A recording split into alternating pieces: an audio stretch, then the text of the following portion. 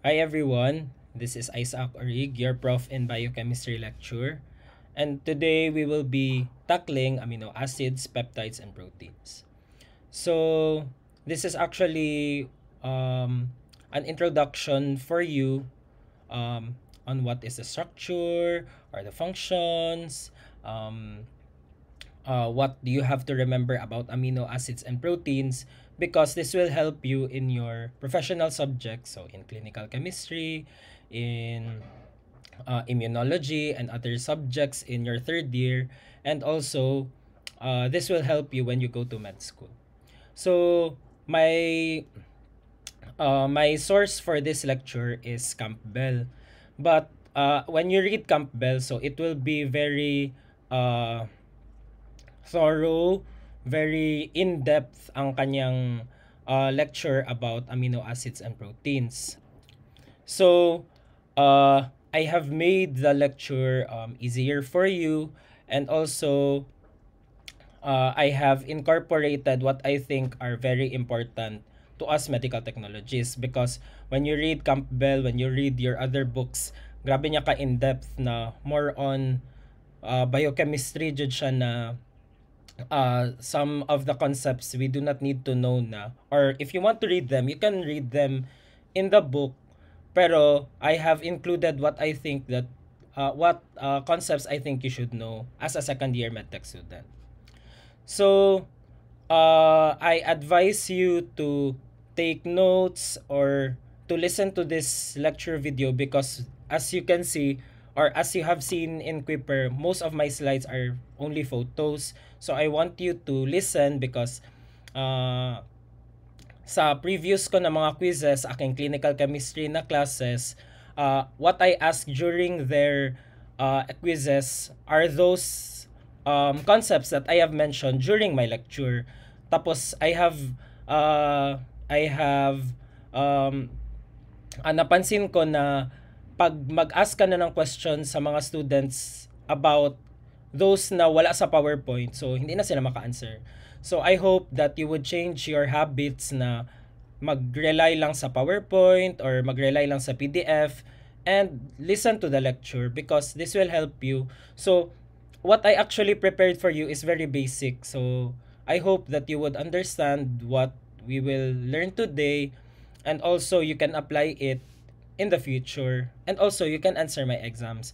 So uh, when I make exams kasi, I do it, uh, uh, I make questions na analysis type. So, I do not uh, usually ask questions. I ask questions na what is ganito, what is ganyan. Pero I want to um, improve the testmanship of the students by asking questions na analysis yung hindi siya parang giveaway questions ba. I want you to think when you are having your quizzes, you, you have your exams. Pero I do not ask questions na I did not teach you. So, uh, I hope that you would really uh, listen to this lecture so that you can answer your quizzes and your exams. Okay, so before you start uh, viewing this lecture, I uh, I suggest you take a break or you rest muna for ilang minutes so that you can give your 100%, 200% focus when you view this lecture. Okay? So, uh, let's start. So, we are going to tackle about amino acids, peptides, and proteins. So, this is an introduction on um, these basic concepts. So, as we all know, amino acids are the building blocks of protein. So, you already know that since high school pa, amino acids are the building blocks of proteins. So, where can you find proteins? So, actually, proteins can be found everywhere. So, in our body, mga proteins natin, hemoglobin, collagen in our skin, hemoglobin in our blood, um, enzymes, 'di ba? You will learn more about enzymes in your clinical chemistry and then other pa na mga uh, other organisms they also have proteins. So actually proteins are very important in the structure, the function of every organism. So we will not uh, deal more with what are the proteins, ganyan. So you will learn more about that in the uh, lecture about uh, metabolism of proteins and also in your clinical chemistry. So you will have yung mga protein function eh, mga protein tests ganyan uh, albumin um, protein in the urine mga ganyan. So you will have that when you go to third year. So amino acids are the building blocks of proteins di ba? So when you think about it so proteins are made up of a series of amino acids. So always uh, remember na proteins are made up of amino acids. Okay? So we will deal more about the structure and the functions of some of the proteins and the amino acids. Okay? So let's start with the structure of amino acids. So amino acids are the building blocks of proteins. So we will deal about their structure so that when we deal more about the proteins, so we know what the proteins are made of. So, amino acids. So, actually, from the word amino acid, you can already tell what the structure of an amino acid is. Okay? So, this is the structure of the amino acid. So, among all of the possible amino acids, only 20 are found in protein. So, later we will um, tackle or we will uh, enumerate what are those 20 amino acids that can be found in the proteins. So, 'di ba, yung mga 20 amino acids na yun, yun lang din sila ang nag-repeat, repeat until they make a protein. So, ano lang talaga siya, uh, imagine parang hollow blocks siya sa isang house na ano lang sila, uh, nag-stack up lang sila. Each individual amino acid is one hollow block. Then when they stack up they make the house. So yung house yung protein. Okay? So uh, this is the structure of the amino acid. So look at the photo on your right. So there are actually, uh, I want you to memorize four parts of the amino acids. So the, the C in red is actually the alpha carbon. Okay? Siya yung alpha carbon. So the the group doon sa right ng C is the carboxyl group. So yung COOH or minsan COO yun ang tinatawag natin na carboxyl group. I think you already uh, you already uh, tackled what the functional groups, ba, sa inyong introduction to biochemistry. So, uh, the amino acid is composed of the alpha carbon, yung C dyan sa gitna, and then the carboxyl group, yan dyan to the right, C double bond O, then OH. And then on the other side of the alpha carbon, there is the amino group or yung NH2. Okay? So, ang amino group is NH2. So, excuse me. So, uh, I you already um, memorized or you already met three of the groups in amino in the amino acid. So first, again, the C in the middle is the alpha carbon, okay? Alpha carbon. And then yung COOH na naka-attach sa alpha carbon, that is the carboxyl group. Okay? Carboxyl group. And then the NH2 that is attached to the alpha carbon is the amino group. Okay? Amino group. And then, sa alpha carbon natin, there are two more. So, apat yung naka-attach sa ating alpha carbon. So, the first one is carboxyl group.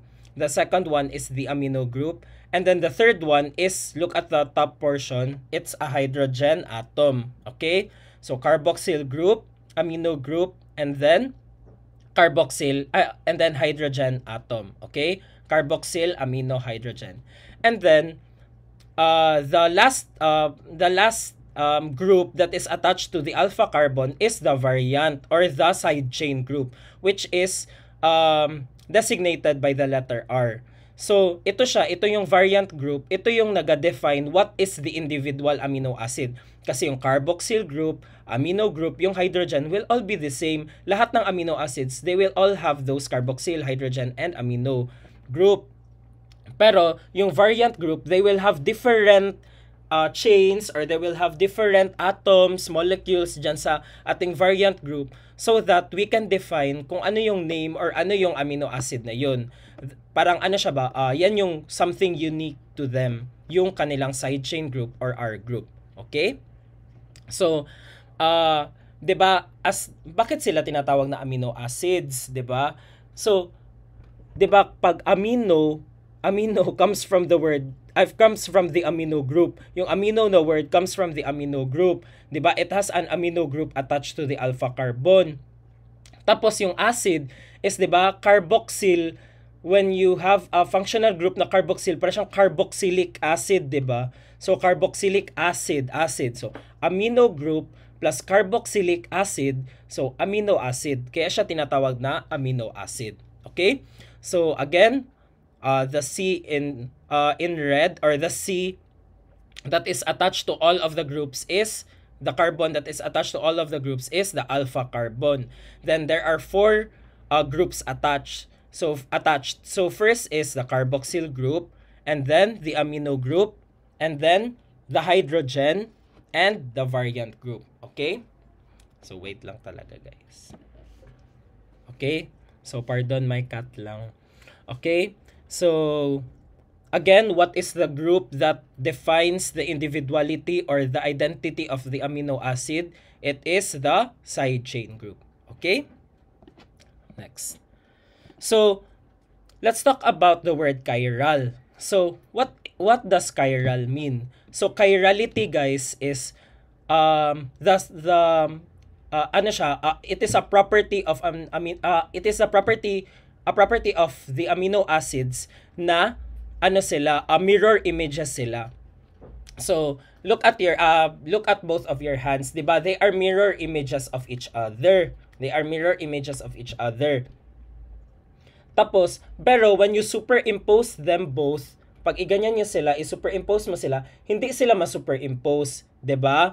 Hindi sila ma-superimpose kasi meron tayong right hand and meron tayong left hand. So, they are mirror images of each other, pero they cannot be superimposed pag i pag itapal mo sila dalawa.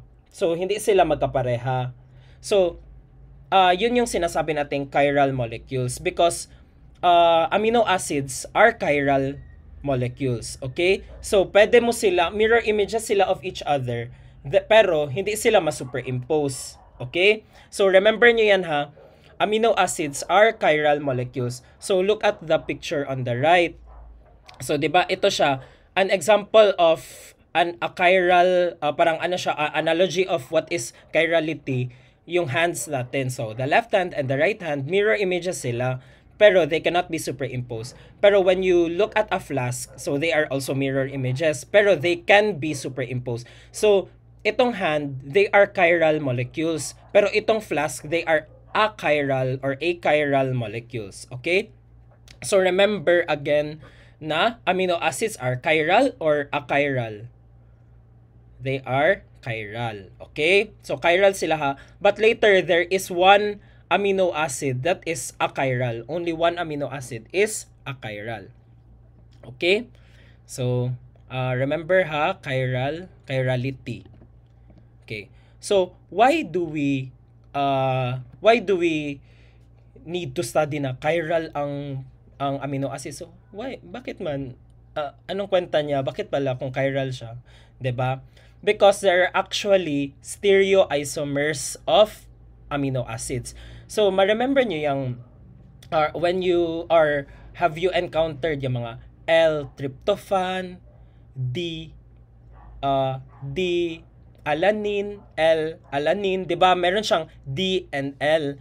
So those are actually stereoisomers of the amino acids. So for example, sa glucose lang ito siya, it is not an amino acid. So for example, glucose, 'di ba may D-glucose, may L-glucose, 'di ba? May ganyan siya. So those are actually stereoisomers because 'di ba chiral molecules sila. So meron silang right, meron silang left, okay? So same sa amino acids. So for example, one amino acid is uh, tryptophan, for example, tryptophan. So tryptophan has D-tryptophan and L-tryptophan. So how can you uh, how can you um, tell if it's D or L? Okay? So if it is D or L. So again guys ha, uh, you, you call those stereoisomers, okay? So ba, as you can see dito sa ano, dito sa picture natin, Uh, this is an amino acid, 'di ba? This is an amino acid. This is actually the same amino acid. So, it has the alpha carbon, yung C na black, and then attached hydrogen, and then attached yung uh, uh, violet is amino group and then yung red is carboxyl or carboxylic acid group. Okay? And then yung R is the side chain. So as you can see, mirror images sila of each other. Pero when you overlap both of them or when you superimpose both of them, they cannot be superimposed kasi yung R doon siya sa H, then yung yung 'di ba yung R doon siya sa H. So hindi sila actually uh exactly the same. Okay? Chiral lang sila but they are not the same. Okay? So, next. So, with what determines the designation? So, how can you say that it is an L amino acid or a D amino acid? So, actually, I included this para when you read yung mga D, ganyan, L, ganyan. So, at least alam nyo why it is named as such. Okay? So, it is actually determined by the amino group. Okay? The amino group. So, ano ga yung amino group? It is the NH2 or NH3 na part, 'di ba? So siya yung may nitrogen. So the amino group actually determines the designation of the amino acid. So look at the L amino acid. So where can you find the uh, amino group? Left or right? So it is on the left of the alpha carbon. Okay, so that's why it is called L amino acid. So yung D naman doon sa kabila, it is called D-amino acid kasi the uh, the amino group is found on the right. Okay? So again, what determines the designation? It is the amino group. So when you look at structure, so for example, I will give you a structure, 2D structure, for example, parang ganito siya. And then uh, I will ask you what um, designation uh, what what amino acid is this? Then same lang ang choices ko. Uh, for example, tryptophan. Tryptophan yun siya na amino acid. Then same lang ang choices ko, L-tryptophan and D-tryptophan. So, you can determine it by looking at what functional group it is the amino group. Okay? So, what form of amino acids are found in proteins? So, actually, so, guess nyo, what uh, form of amino acids are found in proteins? Is it the L amino acid or the D amino acid? So, it is actually the L amino acid. Okay? So, imagine, uh, isipin nyo na lang L lahat. So, uh, L amino acid can be found in the proteins. Lahat ng proteins. Okay? So, actually, uh, almost all. Kaya nga, when you hear, uh, when you read mga amino acids, usually L talaga sila uh, L-tryptophan, L-alanine. Usually, L ang kanilang designation sa proteins. Okay? Yun ang yun ang most uh, yun ang form ng ng amino acids that are found mostly in proteins. So yung D amino acids, they are actually found in nature, okay? Kaya nga may D amino acids. Pero they are uh, mostly found sa mga bacterial cell wall, sa uh, uh, sa mga antibiotics, pero they are not found in uh, proteins. Okay? So again, what are found in proteins? L-amino acids. So let's now go to uh, individual amino acids. So dito sa individual amino acids, so we will look at there what uh, what chain man ang ating tingnan para to see if what is the individual amino acid. Diba? The side chain or the R group. Okay? So dito, we will be classifying the individual amino acids. Pero I will not actually um, require require you to uh, memorize the structures of the amino acids kasi it is not uh, it is not um, practical na to memorize all of them. Pero if you want to memorize all of them, if you want to be a biochemistry major, you can do it. Pero uh, I advise na uh, you, we will, uh, you will not memorize the structures talaga ng amino acids, pero we will memorize kung what amino acids are acidic, what amino acids are basic, what amino acids are polar. So later, we will tackle them. Okay? One by one. Okay? So, let's go to the individual amino acids. So, uh, the amino acids, di, di ba, there are 20 amino acids that can be found in protein. So let's focus on those 20 amino acids. So uh, we will classify these amino acids by their side chain. Okay? By their side chain. Kasi 'di ba, the side chain is their parang unique uh, what is unique to them or their individuality. Kaya sila may names ang ating amino acids. Okay?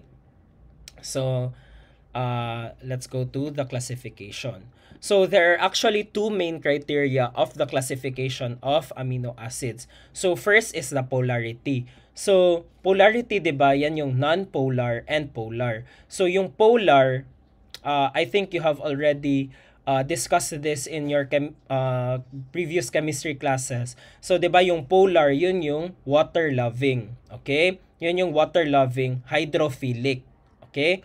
Polar water-loving hydrophilic. So imagine nyo na lang, polar bear loves water. Okay? Then yung non-polar, yun yung water, um, parang water-hating or hindi siya water-hating ang term niya, parang water-repelling hydrophobic. Okay? So, water-loving, polar, hydrophilic, hydrophobic, water-fearing, water-repelling is uh, non-polar. Okay? So remember that. And then, if there is a presence of an acidic or basic group. Okay? So alam niyo na yan what is acidic and basic kasi 'di ba sa inyong previous lecture water and pH. So you already know that. So what is your uh, what are what is the other useful criteria? So the presence of functional groups other than acidic or basic ones in the side chain and the nature of the groups. So sige lang. Basta, uh, let's uh, focus on their polarity and if there is an acidic or basic group. Okay? So again, what is polar? Water, loving, hydrophilic. Then non-polar, water, fearing, water repelling, hydrophobic. Okay? So, this is actually the most basic or the most simple, simplest amino acid, glycine. So again, what is the C na green? It is the alpha carbon. Then NH2 is amino group. And then COOH is carboxyl group. Okay? And then one hydrogen attached. So bakit dalawa ang hydrogen ng glycine? So its side chain is actually hydrogen. Okay? Kaya siya ang pinaka uh, pinaka uh, simple na amino acid. Kasi uh, kasi ang kanyang side chain or R chain is hydrogen. So same sila, dalawa ang kanilang hydrogen. So 'di ba as I have said earlier, may isang achiral na amino acid and it is actually glycine. Kasi when you superimpose hydrogen and hydrogen, same lang sila, hydrogen. So they can actually be superimposed with each other. So wala tayong D-glycine, wala tayong L-glycine. Kasi uh, glycine is achiral. Okay? So I hope you get it, 'di ba? Imagine nyo, hydrogen ang both sides. Hydrogen ang both sides. Then pag iganyan mo siya, hydrogen din sila ang masuperimpose sa each other. So glycine is actually achiral. So siya lang yung achiral na uh, amino acid. Okay? So, siya lang yung achiral na amino acid ha. And the other amino acids are chiral. And they have what we call the stereoisomers, yung D and L configuration. Okay? So, bantay may maka ano pa ha, may maka kalim, may makalimot pa ng glycine. So, siya ang pinaka simple. Okay? So, hindi pa bibo ang glycine. So, next. So, ito yung sinasabi ko na uh, classifications of amino acids. So, I expect you to memorize what amino acids are under which classification. Kasi, basic lang naman yan siya guys. So, you can have your own mnemonic. So, pero, uh, sige lang, I'll think about what I will ask sa quizzes nyo. Pero, I expect you to memorize kung sino ang non-polar, sino ang acidic, sino ang basic, so that you will know, kahit hindi nyo alam yung structure nila, alam mo yung kanilang uh, property. Okay? Properties nila ng amino acid. So ito siya, this figure shows the side chain. So yung yung blue na square, yan na yun siya yung mga uh, other parts ng protein, yung alpha carbon, yung amino group, yung carboxyl group. So yung mga naka-attach diyan na mga uh, naka-attach diyan na mga uh, molecules, yung mga CH3, ganyan. So, yan yung kanilang R chain or side chain. Okay? So, these are the non-polar hydrophobic. ba diba? Hydrophobic ang non-polar uh, groups. Okay? So, uh, uh, amino acids. So, alanine, valine, leucine, isoleucine, proline, methionine, phenylalanine, and tryptophan. So, actually guys, when you see their structures, you can see something na very similar sa kanila. So, what can you say about their side chains? So, they are actually, ano lang yan sila, uh, chains of CH3 lang yan sila. Di ba? Makita mo, aliphatic, that's what you call aliphatic chain. So, aliphatic is A-L-I-P-H-A-T-I-C. Aliphatic. Okay, aliphatic chains So what do you mean by aliphatic chains? So paulit-ulit lang yan sila si H3, si H3, si H2, si H3. Ganyan lang yan sila lahat. Kaya sila hydrophobic kasi 'di ba, yung mga ganyan, yung mga methane, ano mga hydrophobic, 'di ba sila pag may mga chains sila ng mga CH3.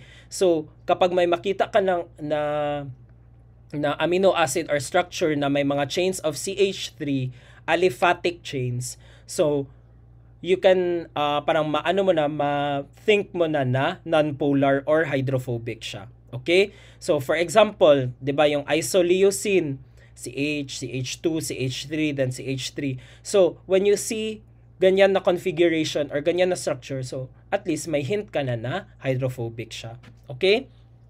Oh, 'di ba? Alanine, CH3, valine, CH, CH3, ganyan lang siya. So paulit-ulit lang talaga yan sila.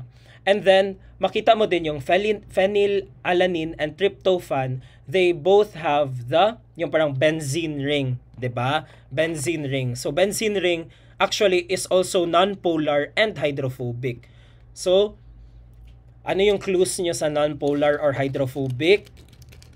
Aliphatic chains of CH3 and then aromatic compounds or those with benzene rings. Okay? So, yan yung sinasabi natin na aromatic. Okay? So, again, aliphatic and aromatic amino acids, they are non-polar or hydrophobic. Okay? So, when I ask you, uh, there, uh, an aliphatic side chain attached to the amino acid structure is considered non-polar, polar, basic, acidic. Okay, so you answer that. Okay?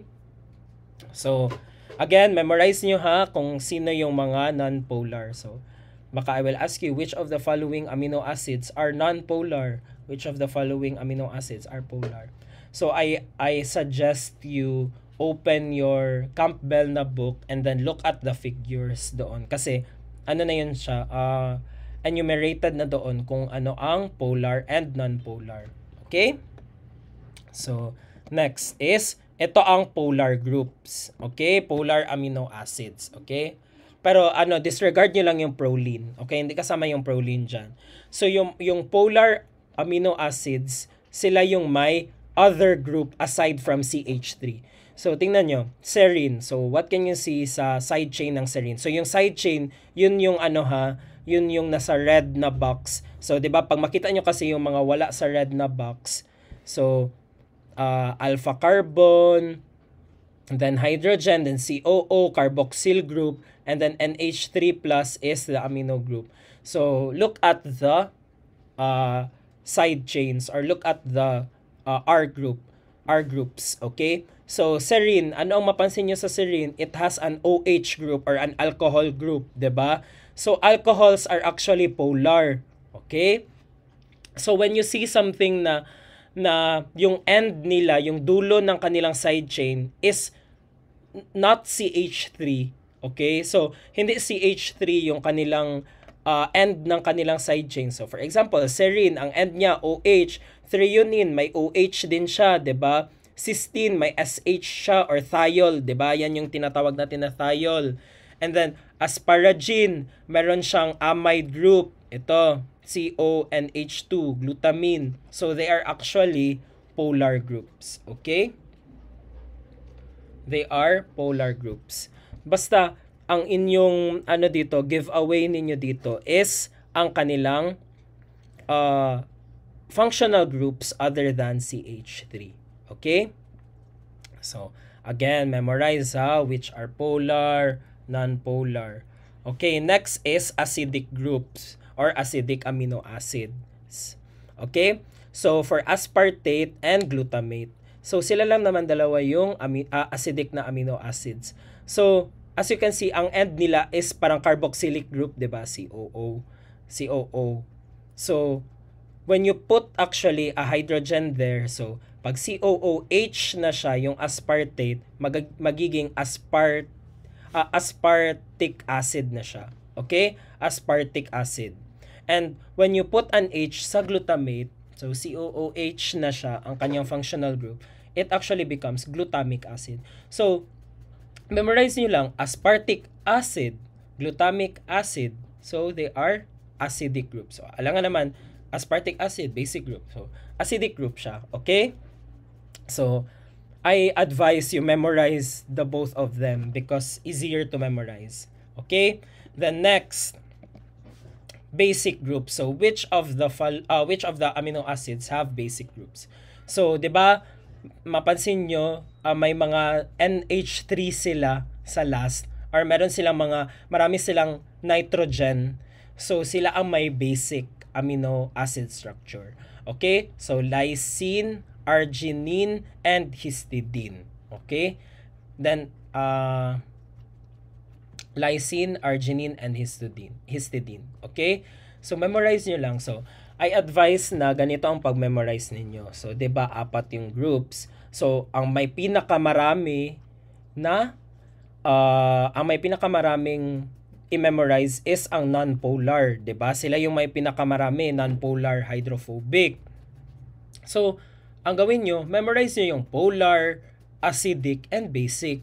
So, memorize nyo which are basic, which are acidic, which are polar. Para kung wala doon sa gi-memorize nyo, edi doon siya sa non-polar. Okay? So, actually, when you memorize, so, MedTech entails a lot of memorization. I know because I have been there and I, I for one, uh, I do not like memorization. Pero, pumasok tayo dito at paninindigan natin ito.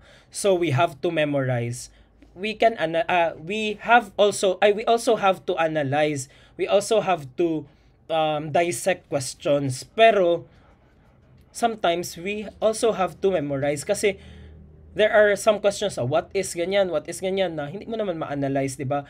Paano mo ma-analyze kung which of the following is non-polar, tapos mga names lang ang ibigay. So, di ba, you have to memorize. So, alam nga naman, leucine, ah, leucine is non-polar, ganyan. So, hindi mo talaga siya alam. Kailangan mo talaga i-memorize. So, I advise na you memorize the three parts na have smaller uh, smaller uh, things to memorize and then kung wala siya doon, edi doon siya sa non-polar, 'di ba? So ganyan din ako. So hindi ko din kaya i-memorize yan sila one by one, pero when you do your mnemonics, when you have your uh, the way you study na ganito ang gusto ko uh, kahit medyo tamad siya na style pero it works for me. So you go with what works for you. Okay? So, pero hindi ko kayo ginapilit na ganun kayo mag-memorize ha because malay nyo, stellar kayo then mag-memorize talaga kayo ng everything. Pero, if it works for you, then, di ba, better yun siya na na-memorize niyo lahat. Pero, uh, sa mga students na uh, hindi masyado adept or hindi masyado expert sa pag-memorize, so, you should start uh, having your habits or developing your habits on how to memorize your uh, lessons. Okay? Kasi when you go to med, when you go to third year, mas marami pa kayong i-memorize. So, hindi lang siya ganito kakonte. So, you have a lot to memorize. So, uh, develop nyo na ang inyong study habits. Okay? And then don't rely on the PDF, don't rely on the trans, don't rely on the PowerPoint. Always study by yourself. Ay, hindi, siya by yourself. Always study with the video lecture as your guide and then study ka further. Okay? Lalo na sa ibang profs, baka mag-ask sila directly from the book. Okay? Sige. Next. So, these are the uh, designations of the amino acids. So, ito yung 20 na amino acids. So, they have the three letters na designation and also yung one letter nila na shortcut. So, ito yung mga shortcut na ginagamit sa books natin. So, I want you to familiarize, if possible, memorize this. Okay? Kasi, para when you read books, uh, na may na mag-tackle ng amino acids and proteins, at least alam niyo kung ano yung Y, alam niyo kung ano yung V. Ito uh, ano din siya, I am guilty of this. Hindi, minsan hindi ko alam kung anong G, anong H, gina-skip ko siya. So at least when you read your books in third year, in fourth year, in your board exam, in med school, so maraming ganito in med school, you know what are the shortcuts for the amino acids. Okay? So hindi ka maano, hindi ka malito when you when you read your books. Okay? So again, memorize this ha. If possible, memorize. Pero kung hindi kaya, uh, ano lang, familiarize. So I will not ask you yung mga grabe ka confusing na mga questions about this. So basta memorize or familiarize niyo lang ito. Okay? Pero wag kayo mag-familiarize din pag abot sa exam. Hala, familiar. So, di din yan pwede ha. Familiarize, pero take into heart nyo din kung ano yung gi-familiarize ninyo. Okay? Sige. So again, for example, alanin, ALA ang kanya or ALA ang kanyang three letter na shortcut and kanyang one letter na shortcut is A. Okay? Kasi sometimes kasi kunyari sa mga chains ng amino acids kay A, N, D, C, ganyan lang ang ginalagay nila. So at least you know uh, what are the shortcuts of the amino acids. Okay? So Okay, so let's focus on uh, some uncommon amino acids. So, yung hindi kasama doon sa 20 amino acids. So, there is actually what we call, or what we, uh, uh, yes, what we call hydroxyproline and hydroxylysine. Okay, so wait, i-move ko yung aking camera. So, uh, as you can see, there is hydroxyproline and hydroxylysine. So why is it important for us to know hydroxyproline and hydroxylysine? So actually, hydroxyproline comes from proline. Di ba? Proline is an amino acid na common.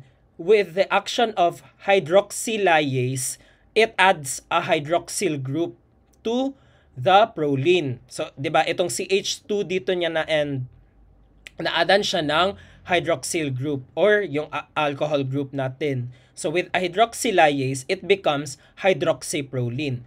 The same with lysine. So lysine with the action of hydroxylase will become hydroxylysine. So, okay, hydroxyproline, hydroxylysine, it adds, uh, it was, uh, uh, it was modified by hydroxylase from proline and lysine. So, ano ngayon? Why do we study hydroxyproline and hydroxylysine?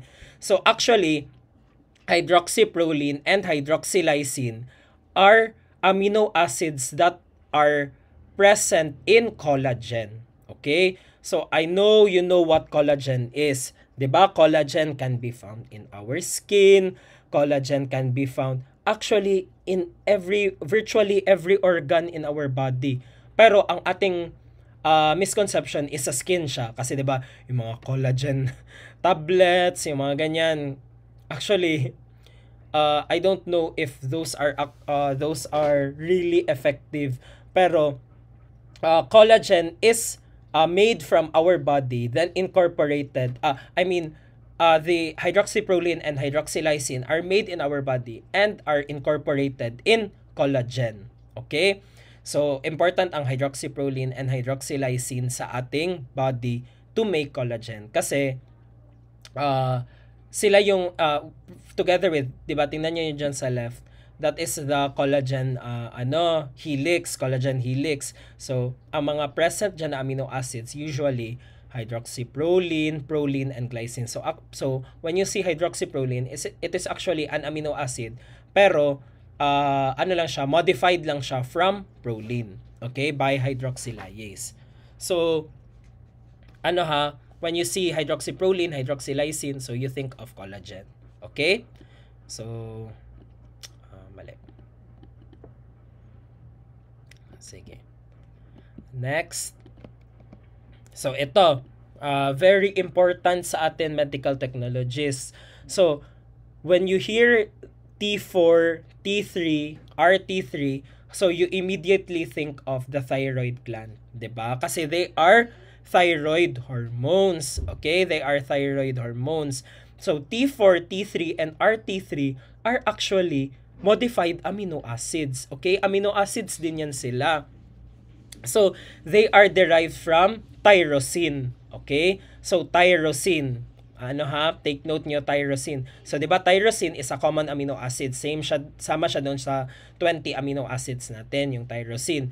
So, tyrosine is actually taken up into the thyroid gland. So, yung thyroid gland natin, nandito yan siya sa neck. So, look at the picture on the left. So, nandito yan siya sa neck ating thyroid gland. So, tyrosine is taken up by the thyroid gland to make our thyroid hormones. So, itong T4, thyroxine, T3, triiodothyronine, and RT3, or reverse na triiodothyronine, they are actually amino acids. Okay? So, di ba you can see the importance of amino acids? So, ano yung importance sa ating thyroid hormones? So, actually, thyroid hormones are used in the metabolism of our body. So, siya yung naga, uh, siya yung naga-keep sa atin, kunyari, uh, yung uh, pag-produce ng heat ng body, pag-metabolize ng ating kinakain, when we uh, regulate our temperature, when we also regulate our energy consumption during rest, ganyan. So, 'di ba? When there is actually uh yung pag may ano ka, may thyroid problems ka, so you have goiter, 'di ba? Yan yung sinasabi nila na goiter. Yan yung lalaki yung dito mo. So, actually that is also uh, itong yung mga thyroxine T3 and T4 so they can be sometimes they can be increased or they can be uh, abundant in goiter or sometimes they can be decreased. So the uh we you will actually talk more about that in your clinical chemistry. So ano lang, it is sufficient to know in your level na T4, T3, and RT3 are actually derived from tyrosine in the thyroid gland. Okay? So, yung tyrosine, gina-incorporatean siya ng iodine. So, yan yung makikita nyo na I dyan. Iodine yan sila. Kaya siya T4 kasi apat na iodine, 'di ba? T4 thyroxine, apat na iodine ang gi-incorporate sa tyrosine. And then sa T3, 3 na iodines ang gi-incorporate sa uh, tyrosine, okay?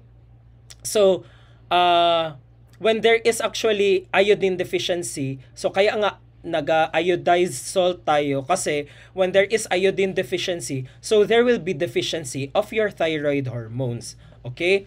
Kasi wala walang ma-incorporate sa tyrosine ang thyroid gland na iodine. So when there is uh, when there is deficiency of your thyroid hormones, so there is actually goiter. So there will be goiter. So makita mo sometimes na ang mga babae, usually kasi mga babae ang may goiter. So, ma-enlarge ang kanilang neck. So, maisip mo, there, there might be something wrong sa pag-produce niya ng thyroid hormones or pwede siya iodine deficient or there are actually other disease entities pa that will uh, present with goiter. Okay? But ano ha, from tyrosine ang ating uh, thyroid hormones. Okay? So, we are actually done with our amino acids. So, okay, so we are done with proteins. So, uh, we are done with amino acids rather. So, let's go to peptides. So, uh, what are peptides? So, actually, peptides are chains of amino acids. Okay? So they are short chains of amino acids. So peptides are uh, from two amino acids until mga dozens of amino acids. Okay? So that's that are what you call peptides. Okay, so for example, uh, alanine, glycine, yan yan, may, may ano siya, may change of amino acids. So that is what you call a peptide. Okay? So how are peptides formed? Okay, so look at this uh, look at this uh, illustration. So a peptide is formed or a peptide bond peptide bond is formed between two amino acids okay? So look at the two amino acids at the top. So ito yung first amino acid siya yung may pink na box and then yung second amino acid is my blue na box okay? So why are those box painted pink and blue so the peptide bond is actually formed from the carboxyl group of one amino acid and the amino group of another am- amino acid. Okay? So carboxyl group of the first amino acid plus the amino group of the second amino acid mag-form sila ng bond with with each other. Okay? With each other. And then water will go out of the process. Okay? So tatanggalin niya yung water. So 'di ba? Tatanggalin niya yung water and then there will be the formation of the peptide bond between the two amino acids. And then the resulting bond or the resulting uh, structure is a peptide. Okay? It is a peptide. So again, the carboxyl group of one amino acid and then the amino group of one amino acid will form a bond with each other uh, eliminating water in the process and then forming a peptide bond. So yung peptide bond natin, yan yung yellow na bond. Okay? So, 'di ba? Yung dalawang amino acids natin, they are now connected to each other.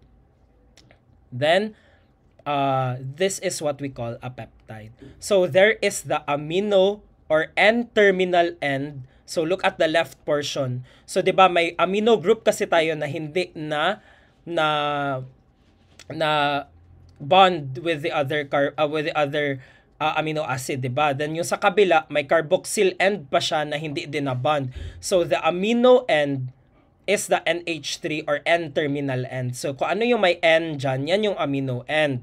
Okay? Then yung C-terminal end, kung ano yung may COO, yan yung carboxyl end niya. Okay?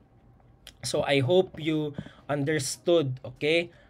carboxyl group plus amino carboxyl group of one amino acid plus amino group of another amino acid will form a peptide bond releasing what uh, water in the process okay so actually ano siya it is a dehydration process kasi tatanggalin niya yung water and then it will form a bond between the two amino acids forming a peptide peptide bond or Uh, the other name for a peptide bond is an amide bond. Okay?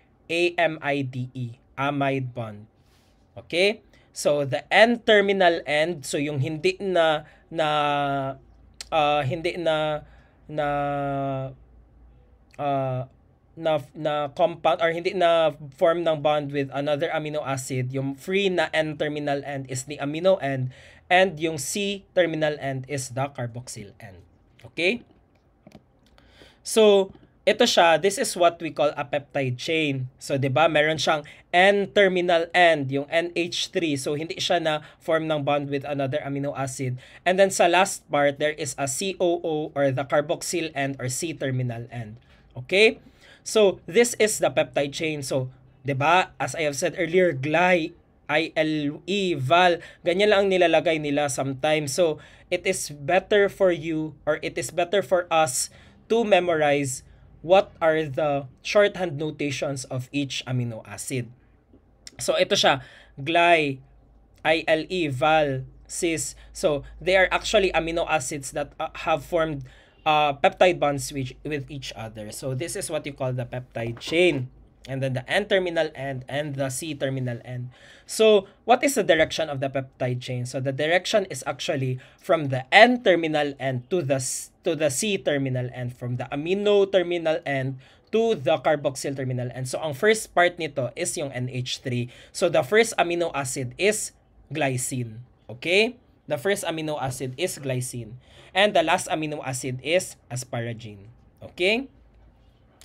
Baka mag-ask ako niyan. Next. So, what are some biological functions of small peptides? So, 'di ba as you can see, oxytocin and vasopressin, they are actually small peptides. So, ano lang yan sila?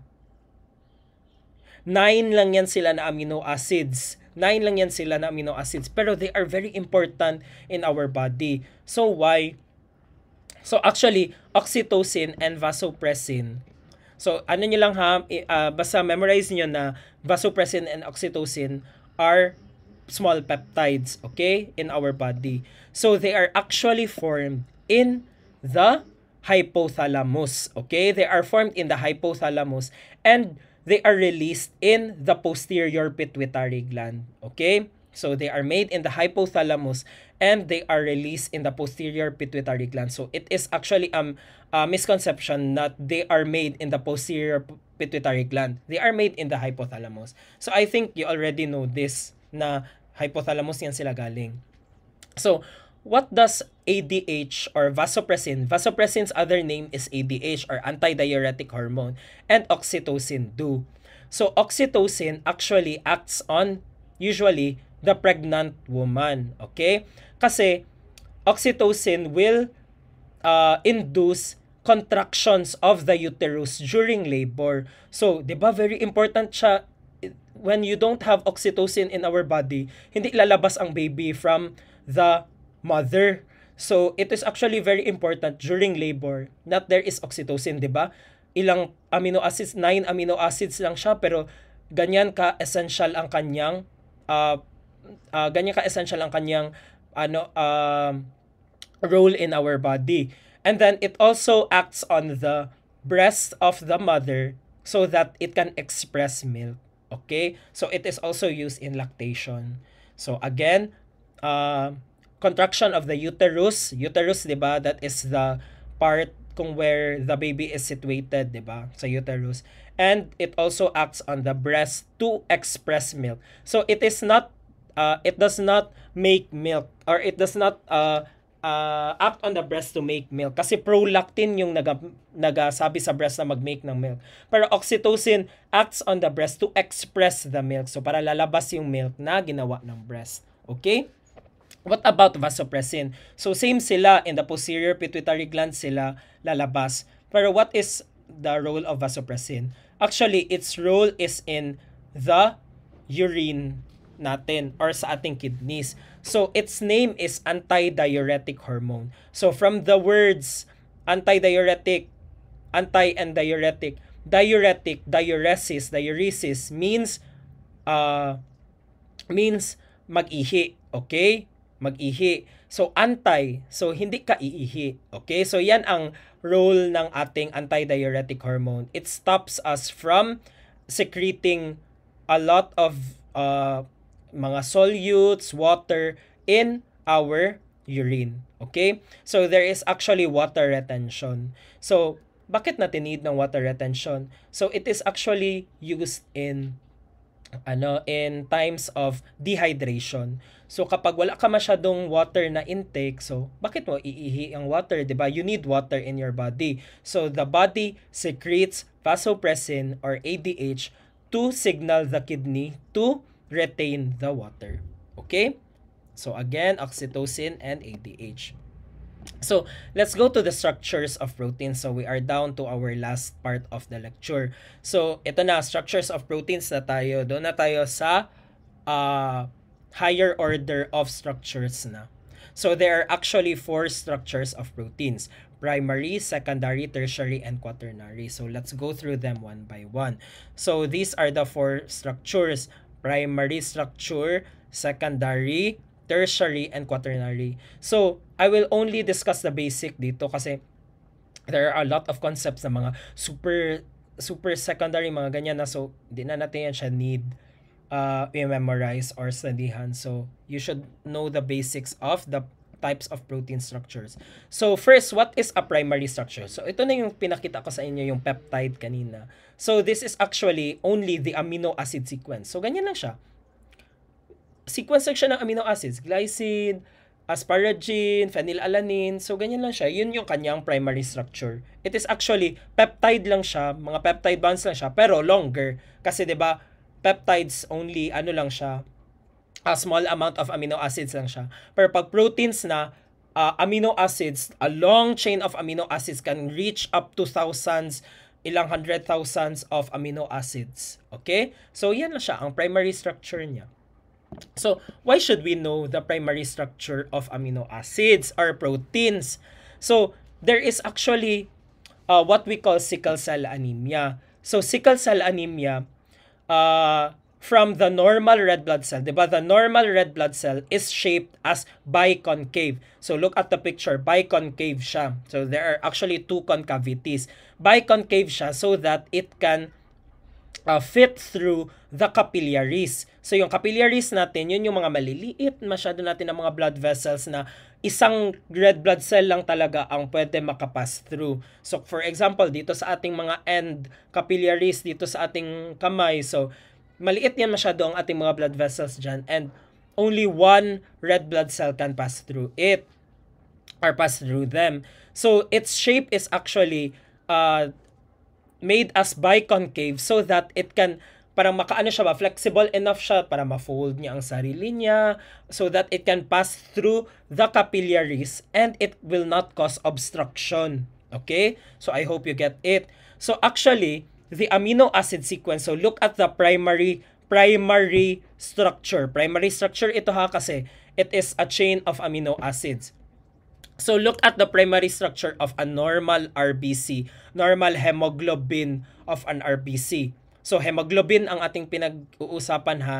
'Di ba? Hemoglobin is a protein found in red blood cells, 'di ba?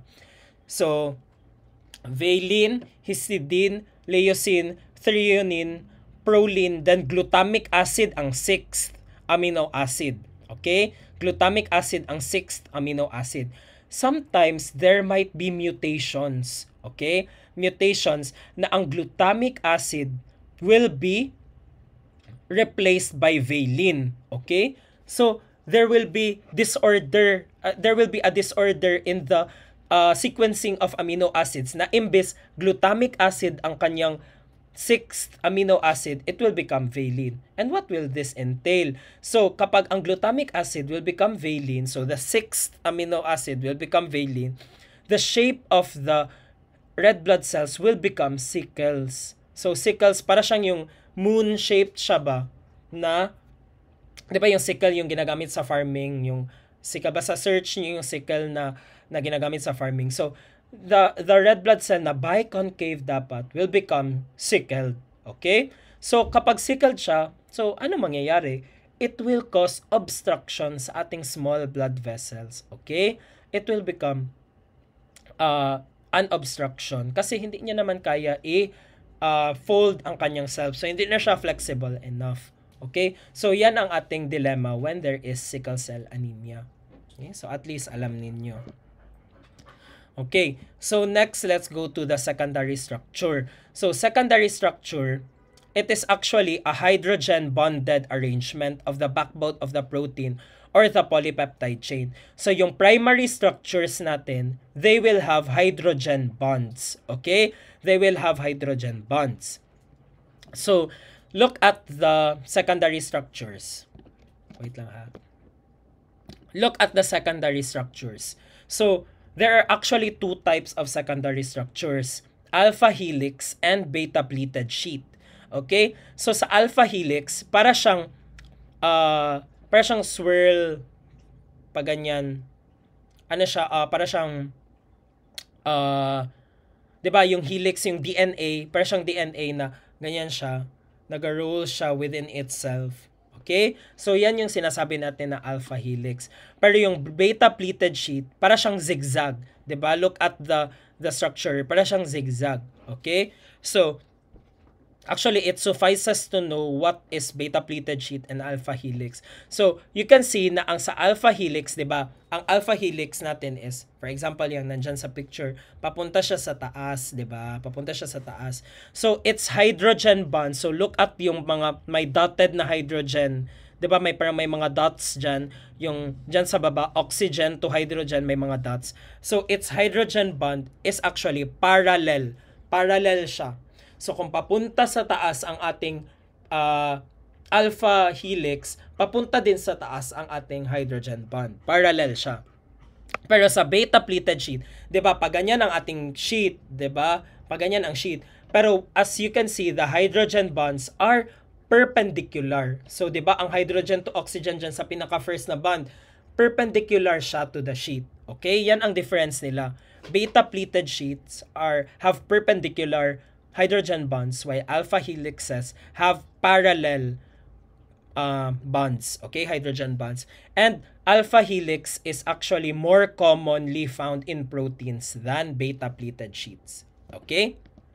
So, this is an example of a collagen triple helix. Okay? So, alpha helix yan sila, yung collagen. Diba, as I have said earlier, hydroxyproline, proline, glycine. So, they are actually alpha helixes. Okay? Na nag uh, nag-ano sila with each other, nag-coil sila with each other. Tatlong helix, tatlong alpha helix na nag-coil with each other. Okay? So that's why it is important to know structures of proteins. So there are actually two types of protein conformations.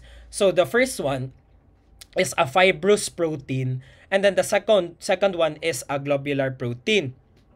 So, the fibrous protein, they are long and narrow. Then they are for structural structural purposes. So, for example, collagen, 'di ba? Nakita nyo kanina, pag ganyan siya, diretso siya, line siya. So, collagen is actually a fibrous protein. Okay? So, they are for structural na mga ano sa mga muscles, skin.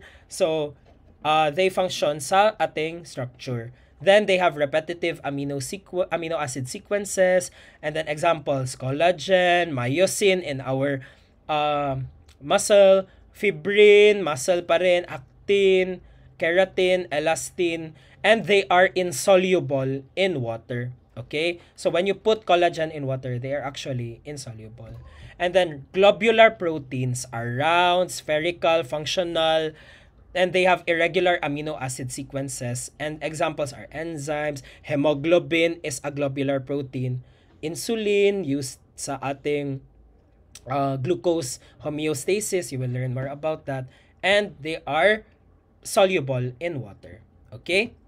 Basta know lang the difference between fibrous and globular proteins. So let's go to the tertiary structure. So the tertiary structure is only just a three-dimensional arrangement of the atoms. So mga alpha helixes, mga beta pleated sheets lang pa rin yan sila na sunod-sunod na nag-fold within each other. Okay? Kaya siya nagkaroon ng three-dimensional arrangement. Okay? So yan lang yung tertiary structure actually. Secondary structure lang yan siya na continuous na, kunyari mga alpha helixes, then beta pleated sheets na mag-form lang sila ng 3D arrangement. Okay? And the tertiary structure can be determined by X-ray crystallography. So it suffices to know na yan. Okay, so an example is myoglobin. So myoglobin is a tertiary structure actually. It is a tertiary structure. So it is made up of 8 alpha helical regions, okay? And no beta pleated sheets. 'Di ba? Look at myoglobin. So mga alpha helix lang yan sila na sunod-sunod. Then nagfold lang sila within each other. Okay? So what is myoglobin? From the term myo, it means it is found in the muscles, okay? Muscles, skeletal muscles, heart muscles, cardiac muscles, smooth muscles. They are found in uh, usually striated muscles, skeletal muscles, and sa cardiac muscles. So it actually um, purposes as uh, its purpose is actually oxygen transport and storage in our muscles. So it actually makes our muscles red. Okay? So, kaya siya red kasi may myoglobin siya. So, it purposes as uh, oxygen transport and storage in our muscles. So, kapag konti lang ang myoglobin mo, so there will be easy fatigue of our muscles. Okay? So, next is the last structure is quaternary structure. So it is actually the final level and it is uh, made up of more than one polypeptide chain. So actually, mga tertiary structures lang din yan sila na nag uh, mix with each other. So there are dimers, trimers, and tetramers. So dimers, dalawang polypeptide chain, trimers, and tatlo then tetramer. So actually, hindi lang siya isang polypeptide chain kasi 'di ba ang primary, secondary and tertiary natin, isang chain lang yan sila lahat na nagfold-fold lang within each other. Pero ang quaternary structure natin made up of more than one polypeptide chain. Okay? So, ito, hemoglobin, it is actually made up of four polypeptide chains. So, there are two alpha chains A1, alpha 1, alpha 2, and two beta chains, beta 1 and beta 2. Okay? So, two alpha and two beta chains. And there is also the heme between the globin chains. Okay? So, yung globin chains natin, yan yung ating polypeptide chains. Alpha 1, alpha 2 globins, yun yung ating proteins. Okay? Beta 1, beta 2 globins, yan yung ating polypeptide chain. Then there is the heme group which attaches to the oxygen na needed by our body. So ito siya, 'di ba? There are two alpha chains, two beta chains, and then there is a heme group sa ating uh, alpha and beta chains. Okay? So, ang heme group, yan yung nag-attach sa oxygen. Kasi 'di ba, the function of hemoglobin is to transport oxygen in the red blood cells. Okay? So from the lungs, from the lungs, uh, from the heart, then to the lungs, then to the other parts of our body, it will transport oxygen and carbon dioxide. Diba? So the heme group actually is the one responsible for that. Pero meron tayong four globin chains or four polypeptide chains. So actually, yung sickle cell anemia, it is a uh, it is a it is a defect in the beta chain. Okay? Remember nyo ha, beta chain of hemoglobin. Beta chain, ikailan nga na amino acid? The sixth amino acid where glutamic acid is replaced by valine. Okay? So that's why, 'di ba? Imagine nyo itong beta chain na ito, mag-iba ang kanyang conformation. So there will be a difference in the structure of the uh, red blood cells. So as you can see, pag magsikling na good siya, pag magsickle na siya, usually sa mga low oxygen tension na parts of our body dito sa dito sa hands, sa fingers, sa ear, sa toes. So there will be occlusion. Okay? So, okay. So those are the four structures. So, Primary structure is the chain of amino acids. Secondary structure, alpha helix or beta pleated sheet. Then tertiary structure, mag 3D conformation lang yung ating secondary structure. And then quaternary structure is two or more polypeptide chains. O, di ba? Aggregation of two or more polypeptides. So, I hope that you learned a lot during this lesson and then you will um, perfect my quiz, exams, and then do well on all of your subjects and study well so that your future self will thank you yourself na you studied well in second year and third year when it comes to your board exams and your med school. So good luck everyone. Thank you for listening and stay safe and healthy.